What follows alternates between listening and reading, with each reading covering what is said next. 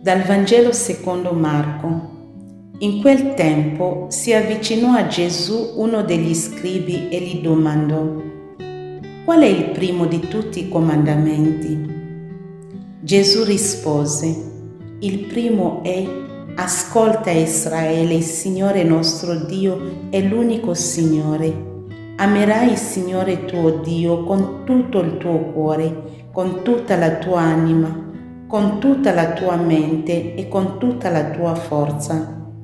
Il secondo è questo, amerai il tuo prossimo come te stesso.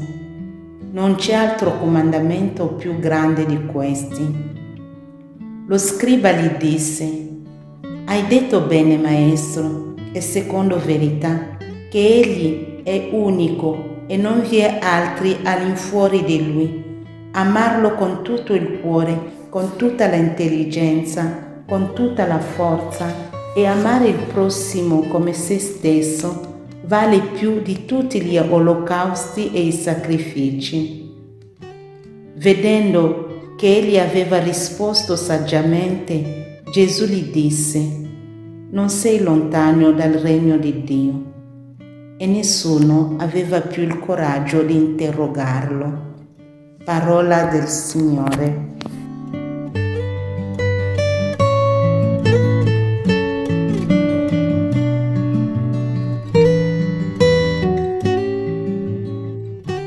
vero che Gesù abbia proiettato con le beatitudini verso il suo regno che ancora deve pienamente venire i valori su cui i discepoli debbono basare la loro vita, facendo così del cristianesimo un motivo invitante, creativo e umanamente avvincente.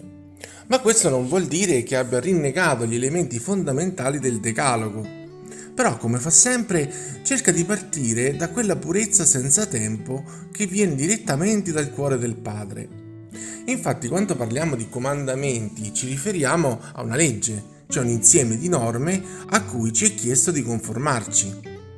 Arrivano quindi dall'esterno, come qualcosa che sembra limitare la possibilità di esprimersi. Gesù però comincia partendo dal comandamento nascosto, quello che quando vengono elencati di solito non lo facciamo comparire. Infatti se proviamo a chiedere a chiunque quale sia il primo comandamento, ammesso che sappia cosa siano i comandamenti, questi risponderà in base al catechismo di Pio X, non avrai altro Dio fuori che me. Ora, il catechismo di Pio X era stato pensato per rendere semplice e facilmente memorizzabile il contenuto del Decalogo, ma è una versione molto semplificata, come se volessimo descrivere la Gioconda a chi non l'ha mai vista dicendo una con le sopracciglia depilate che sorride. Non è che non sia vero, ma è una semplificazione così forte che finisce per non rendere giustizia della grandezza dell'opera che spinge le persone a desiderare di andare al Louvre a vederla. Ecco allora che Gesù parte invece dalla grandezza dei comandamenti,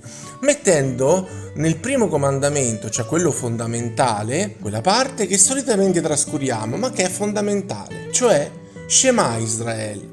Ascolta Israele, questo non è l'equivalente del tempo spegni la PlayStation nel cellulare per ascoltare quello che ti sto per dire. In ebraico, infatti, il verbo shama significa contemporaneamente ascoltare ed obbedire.